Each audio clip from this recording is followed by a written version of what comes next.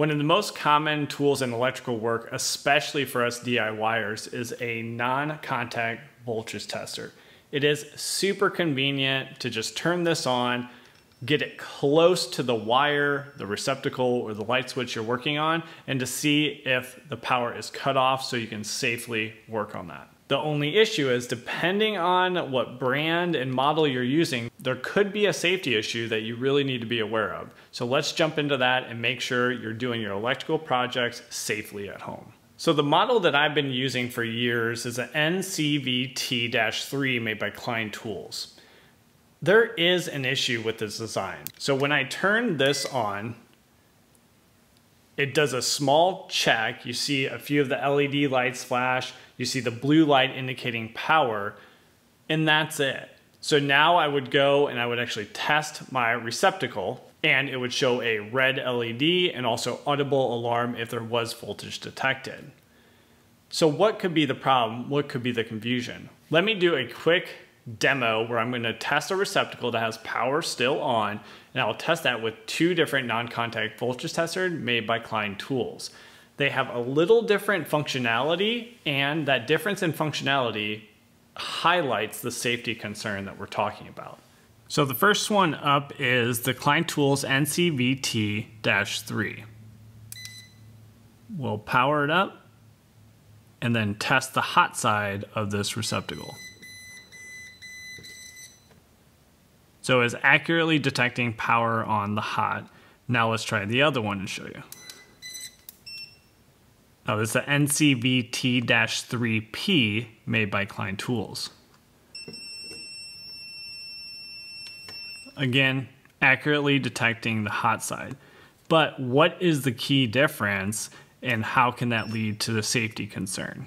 So that might have been pretty subtle and you didn't really pick up on it. So let's take a look and turn both of these guys on. So both of them are in the on state and now it should be a little more apparent difference. So the dash 3P is on my left hand side and this is the dash 3. The 3P is a newer version I just got and it has the green LED which is a strong indicator that the power is on and the voltage tester is testing for voltage. Then once you get it closer to a hot live source, you see it turns to red or blue depending on the voltage. Now, if you look at the dash three, nothing. You don't have the green now, if you get it close to the voltage source, it will start giving you the audible alarm and the LED. But the biggest problem is with this version and some other versions that are out there from different brands, it's easy to have what's called a false negative with this type of non-contact voltage tester. And that means in this on state, you see a little blue LED, but in the off state, it is extremely similar. So let's say you're a standard homeowner, you use this maybe once every six months, maybe once a year, your batteries go dead, so you turn it on and it turns on for five seconds, 10 seconds before you actually test the receptacle and then the batteries drain out, it turns off well, you're not going to know the difference. You're going to think it's still on, you're going to test, you're not going to get the audible alarm, and you're going to think that receptacle or light switch or wire has been turned off. You, you hit the correct circuit breaker, but in fact, your non-contact voltage tester just is giving you a false negative because it doesn't have any battery power. So you need to be careful on which one you're using and make sure that you understand the operation of that non-contact voltage tester. Again, with this, dash 3P, it's easier because you always have that green LED that's indicating I have power and I'm ready to actually measure that circuit. Small change, but can lead to a lot of issues when you're testing your circuit. Let me know in the comments if you guys or yourself or others that you know have actually had that issue where you got a false negative, went to start working and then got bit or injured because the circuit was still live. But what are some other options out there? Well, if you're working on a receptacle, I think it's a no-brainer to have some form of outlet tester. Why would you have that? Well, these are not battery powered. This is a cheaper version made by Commercial Electric. And then this is a little more expensive one made by Klein Tools, but it also has a GFCI tester so you can make sure that the GFCI is tripping properly. Additionally, when you plug these units in, it has three LEDs that will light up in different combination, showing you if a receptacle is correctly wired or showing maybe you have an open ground or an open neutral. It helps you to start diagnose the issues.